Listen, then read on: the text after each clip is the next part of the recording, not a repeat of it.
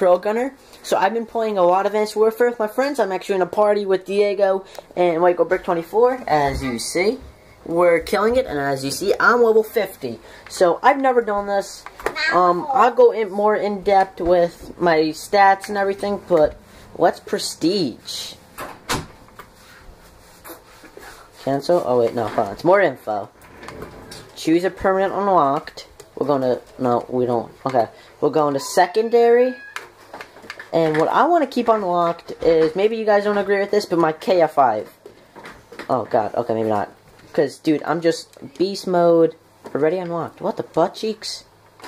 Okay, there. We're entering Prestige. There's no going back. Prestige 2. Epic player card. Alright, and I'll have, um, you know, gameplay of this, um, with that. But for now, that's me. I'm Prestige. And let's throw on that player card. And tier 1 boots. So those are, those are sick. Alright, there. I just threw it on. And let's put the tier 1 boots on. Okay, tier 1 boots. That, okay, that, this is it. I'm Prestige 2. Let's get to Master Prestige. I'll be doing a series on this. Um, Road to Master Prestige, but that I'll probably start tomorrow.